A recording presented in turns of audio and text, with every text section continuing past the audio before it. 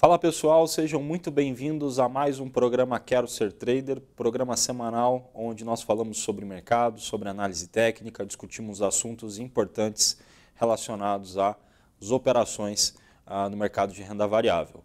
O tema de hoje é respondendo um pedido de vocês que retrata a dificuldade em escolher o melhor tempo gráfico para day trade. A pergunta então é: qual tempo gráfico devo usar? Qual é o melhor tempo gráfico para o day trade? E é exatamente isso que eu vou responder para vocês no programa de hoje. Bom, falar sobre tempos gráficos, a gente entra na questão de perfil. Né?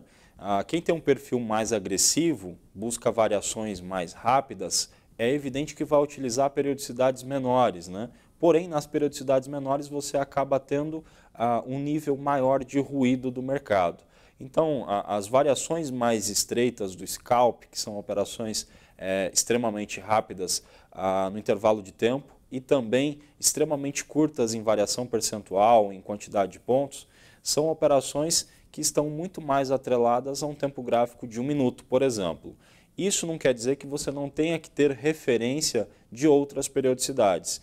É de outras periodicidades que você vai extrair qual é a tendência que o mercado tem é, de forma mais ampla. E quando eu falo dessa forma, provavelmente já a grande maioria de vocês subentende que num tempo gráfico maior é que você vai extrair uh, a leitura com um nível maior de filtros. Né? Então é exatamente aí que nós vamos chegar no ponto para responder essa pergunta. Né?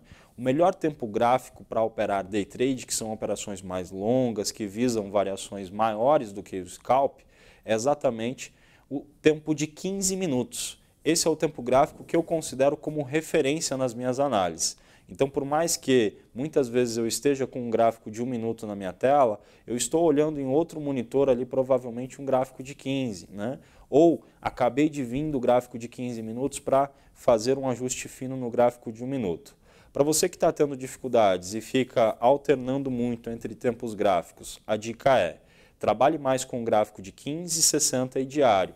Faz análise do gráfico diário para ter uma noção a mais ampla de mercado. Essa é uma análise que você vai fazer provavelmente uma vez no dia, né, porque você já vai ter a referência de quais são os suportes, as resistências e qual a tendência que predomina naquele tempo gráfico. Diminui nos 60 minutos para ter uma noção também mais ampla e o restante do dia você fica no gráfico de 15 minutos. Esse filtro vai fazer com que você é, diminua muito o número de operações, porque no gráfico de um minuto tem mais oportunidades, mais ruído, né? e classifique melhor as suas entradas. Então a dica é, respondendo essa pergunta, para quem principalmente está começando, a melhor periodicidade para day trade, que busca variações maiores, é o gráfico de 15 minutos. Tá? Nele você vai conseguir almejar variações de 200, 300, 500 pontos no índice ou mais, dependendo da sua configuração e das características de mercado. Diferentemente do gráfico de um minuto, que na sua estrutura, na maioria das vezes, geram alvos menores e, como eu falei, com muito mais ruído. Aproveito e convido vocês para complementar essa videoaula a se inscreverem no canal do, do YouTube, só digitar aí no YouTube Aliakim Pereira de Sá e assistirem a videoaula onde eu falo sobre tempos gráficos. Há uma correlação, né, uma leitura que o tempo todo precisa estar ali alinhada, essa é a expressão mais correta, né? Um gráfico de 60 alinhado com 15, que também está alinhado com 5, ou vice-versa, dependendo do seu perfil. Quem tem um perfil mais conservador vai partir sempre do maior para o menor. Né? Quem é mais agressivo está ali no menor, tomando as suas decisões, para, à medida que comece a se encaixar a favor do maior, uh, tente surfar um movimento mais longo, quem sabe. Então se inscrevam no canal e assistam as videoaulas complementares ao tema de hoje, tá ok?